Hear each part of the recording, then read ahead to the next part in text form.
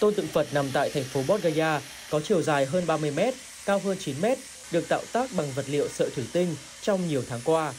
Được biết, công trình trên do Tổ chức Sứ mệnh Phúc lợi Phật giáo quốc tế chủ trì với sự đóng góp của nhiều tự viện tại Ấn Độ.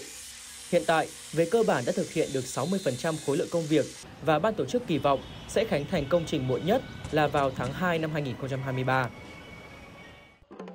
Tại buổi lễ, lãnh đạo các tôn giáo và đại diện các phái bộ ngoại giao có trụ sở ở New Delhi thành tâm thực hiện các nghi thức cùng cầu nguyện cho hòa bình, hạnh phúc sẽ đến với toàn nhân loại.